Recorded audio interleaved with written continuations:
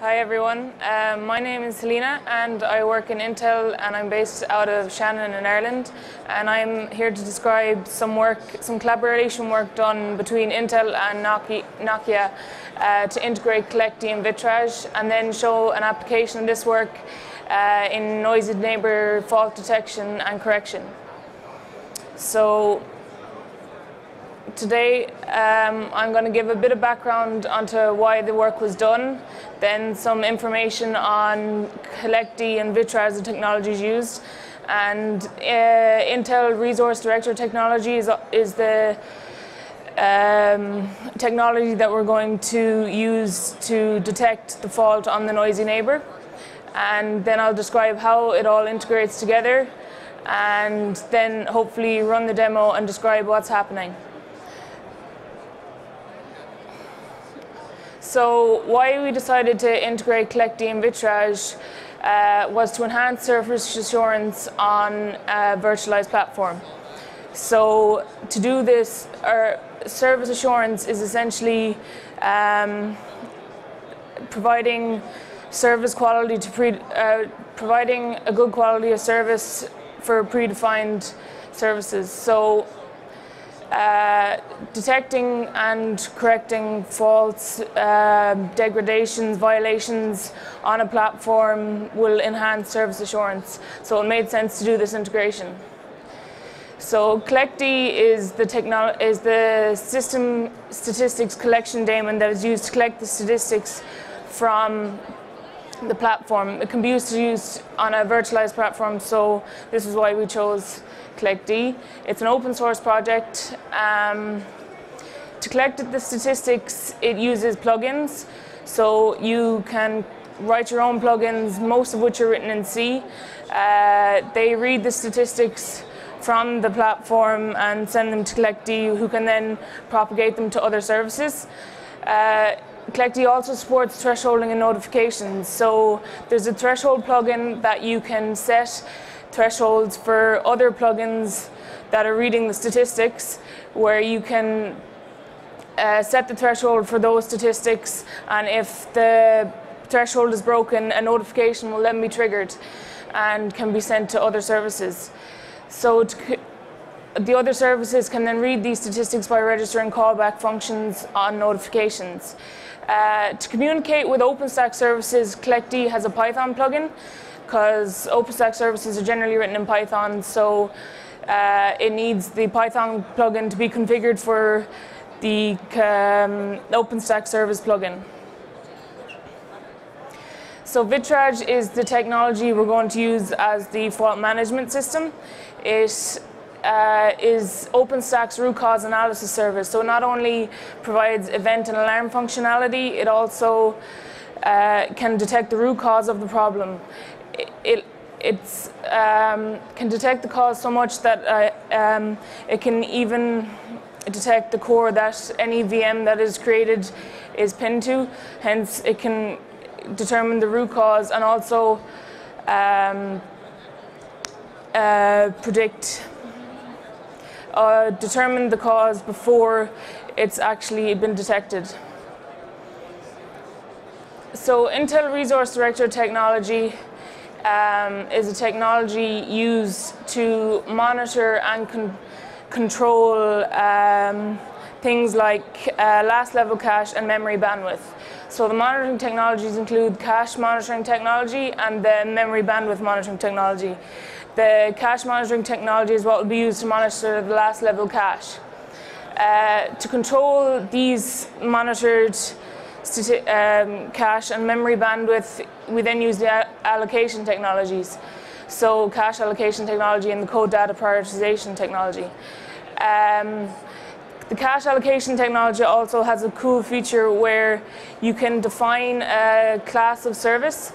So you define the class of service for uh, your VM, you assign it uh, the amount of cache that it is allowed to use. So if it's a higher priority process, uh, it gets more cache allocation. And if it's lower priority, a lower cache allocation. So there will be no degradation in performance on uh, the higher priority um, process. So how all of the technologies integrate together. Uh, will be running on your virtualized platform. Uh, it'll have the Intel RDT conf uh, plugin configured. Uh, it'll also have the Python co plugin configured to read the CollectD Vitrage plugin, and it'll also have the Threshold plugin configured to, with a threshold set for the RDT plugin, which will be monitoring the last level cache of the VMs. So if the uh, last level cache goes below the threshold that's going to be set in the threshold plugin, the notification will be sent from CollectD to the CollectD Vitrage plugin, which will then uh, post it to Vitrage itself. So now I'm going to run the demo and try and explain what is happening um, to do noisy neighbor fault detection and correction. So here we have the bare metal host command line. We also have the, up on the top right is going to be your noisy neighbor. Below it, to demonstrate how effective this is, we have a video stream that will be run on one of the VMs to show when the fault is occurring, the video stream will start to become interrupted and not work properly. We also have a Vitrage entity graph that shows the whole deployment of the entire system. Then the Grafana display down on the bottom left has the last level cache uh, values that are being read from CollectD, which will be running in the bare metal host. And then there's a display here for the alarms that will be triggered when the noisy neighbor is begun.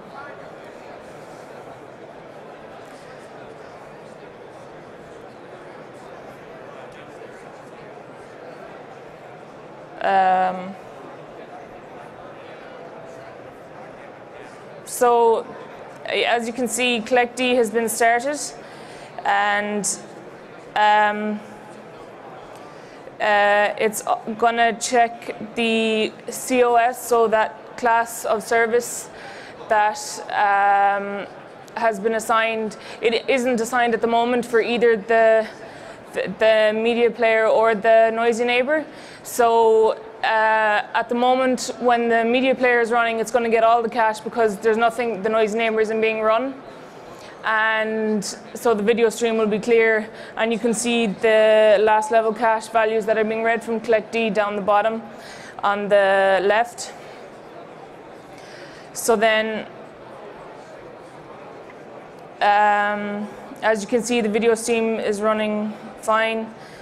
The CollectD is running and there's no COS uh, class of service defined for any either of the VMs and down the bottom left you can see the the top line is the last level cache values for the media player and the line across the bottom is the values coming from the noisy neighbor which doesn't have anything running yet.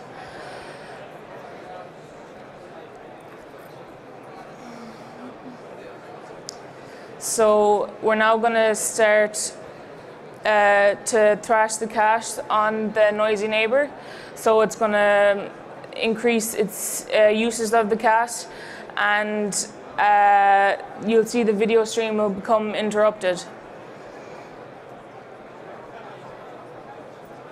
And uh, immediately when the noisy neighbor has been detected, the alarm will be triggered and you can see it in the Vitrage entity graph and in the uh, uh, alarm display down the bottom here on the right. So the alarm has been triggered over in the entity graph.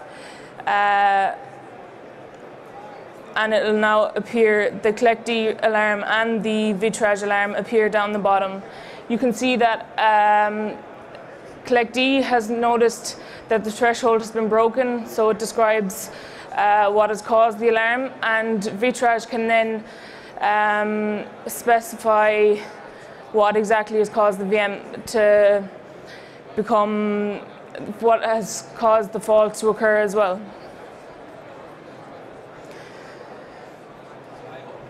So this bit of the demo shows how the quality of the video will decrease and you can see the cache levels of the uh, noisy neighbor will become high and the video player will become very low. So Vitrage will then um, trigger uh, an action that will allow a Mistral workflow to um, begin. This will clear the alarms. It will also define a, a COS rule for the media player and the noisy neighbor. So the media player is going to get a higher COS rule for a higher COS rule for um, more cache allocation and the noisy neighbor will have a lower priority so it won't get as much allocation. So even though the noisy neighbor will still be running, the uh, the cache usage won't affect the media player. So you can see the alarms have been cleared and in a few seconds the video stream will come back um, and be as clear as it was in the beginning. And you can also see down in the bottom left that the cache usage for the VM has, um, or the values for the cache, the last level cache of the VM has increased again, and for the noisy neighbor and the bare metal host um, aren't using as much. This is because we've defined the COS for both.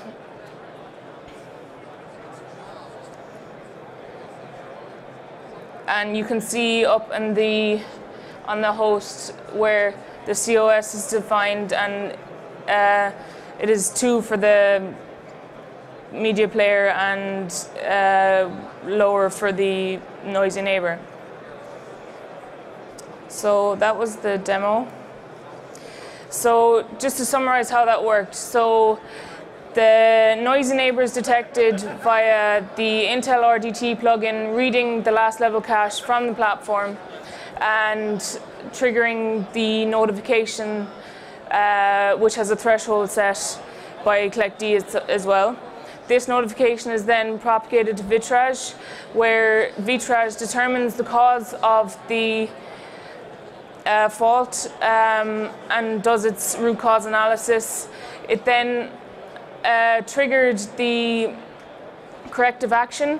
So it um, defined the COS rule for the cache allocation technologies uh, used by the Intel RDT plugin to uh, define the higher uh, COS rule for higher COS priority for the, for the media player and the lower COS for the um, the noisy neighbor. So below is a link to the demo, which is online, so anyone can go and watch it again if they want to read more into it. Um, I'd also, this is a pre, we'll say a prerequisite to the a presentation that is going to be carried out this evening, um, which I'd encourage you all to go to. It'll be carried out by Marianne from Intel and Ifat from Nokia. Um, also, if you want to learn more about Intel RDT technologies, the Intel booth has a demo running at these times for the, that technology. And if anyone wants to contact me or ask me questions, they're welcome to. And that's sort of my presentation.